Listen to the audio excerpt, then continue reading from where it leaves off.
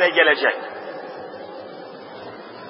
Ama lütfen şurayı dikkatle dinleyelim. Ama dedikten sonra insan hayatına gelince burada mesele değişiyor. Bakınız hemen ayet okuyorum. Men katele nefsen bi gayri nefsin ev fesadin fil ard fekeennemâ katelen nâse cemî'â. Ayet açık. Kim bir insanı haksız yere zulmen, kahren, katlen haksız yere bir insanı öldürürse demin de bir hayvanı öldürmüştü. Olabilir. Şimdi bir insanı öldürürse sorumluluk var. Hayvanı öldürenin sorumluluğu da var, insanı öldürenin sorumluluğu da var. Ama lütfen şu farkı anlayalım. 70 yıllık eğitim sistemi içerisinde bakın bu hususu nesillerimize, çocuklarımıza, insanlarımıza vallahi öğretebilmiş değiliz. Yeminle söylüyorum. Eğer öğretebilseydik, ufak bir meseleden dolayı kafası bozulunca, canı sıkılınca bir binanın beşinci katına çıkıp atlamaya kalkamazdı kimse. Hayatın ne olduğunu bilirdi. Hayat emanettir. Sen kimsin ki hayatına kıyıyorsun? Ne hakla hayatına kıyıyorsun? Ne hakla Boğaz Köprüsü'nden atlıyorsun bile cahil oğlu cahil? Hangi hakla? İnsan hayatı nedir? Sorumluluğu nedir? Biz insanımıza öğretebilmiş değiliz ki neticesi böyle olmasın.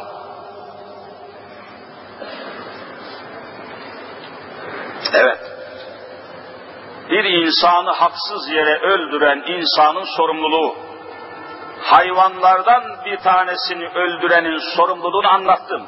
Öldürdüğü hayvan kaç taneyse o kadar hayvanın vebaliyle, hesabıyla, günahıyla mahşere, mahkemeyi kübraya gelecek. Ama insan öyle değil. Ne olur burayı iyi anlayalım. İnsan öyle değil. Ayet öyle söylemiyor. Men katele nefsen bi gayri nefsen fesadin filar fekeennemâ katelen nâse cemî'â. Bakın ayet çok açık. Haksız yere bir insanı öldürenin sorumluluğu, vebali, günahı nedir? Fekeennemâ katelen nâse cemî'â. O bir kişiyi öldürmeye karşılık mahşere, mahkeme-i kübraya öyle bir sorumlulukla gelecek ki yeryüzünde kaç milyar insan varsa diyelim şimdi 6 milyar insan var. 6 milyar insanı öldürmüş olmanın vebaliyle vallahi mahşere gelecek. İşte bunu anlatamıyoruz.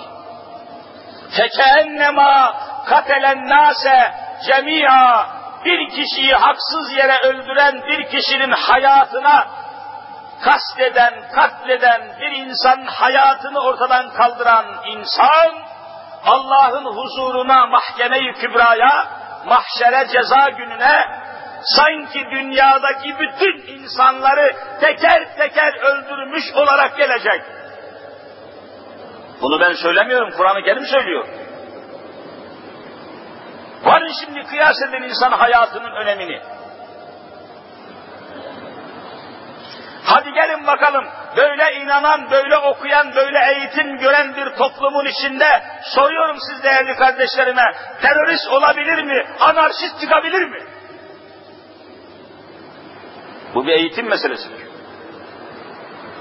فَكَأَنَّمَا كَتَلَ النَّاسَ جَمِيعًا Haksız yere bir kişiyi öldürenin günahı, yeryüzündeki bütün insanları teker teker öldürmüş olmanın günahına eşittir.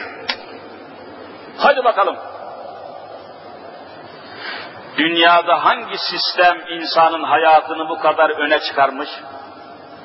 Dünyada hangi din, hangi inanç insan hayatına bu kadar önem vermiş?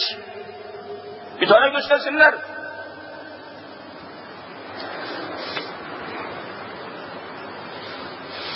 İşte bütün mesele burada.